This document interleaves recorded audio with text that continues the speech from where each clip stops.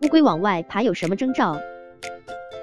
白翔，职业兽医师，犬猫外科疾病专科医生。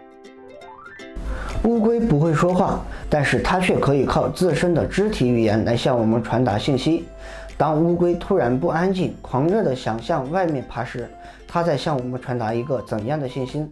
第一，可能是饲养缸温度超过了乌龟适宜的温度，乌龟忍受不了高温，便向外爬，寻找阴凉来避热。第二，新买来的乌龟会不适应新环境而产生心理恐惧，所以会向外爬。这时不必管它，等过两周适应了新环境就好了。第三，可能因为饲养缸环境变得糟糕。水质变脏等原因，主人这时及时的给乌龟清理饲养箱即可。第四，最后一点，乌龟会辨别主人，当它吃饱喝足，便会变得活泼，想和主人玩耍，主人可抽出时间陪自家乌龟玩耍，增进感情。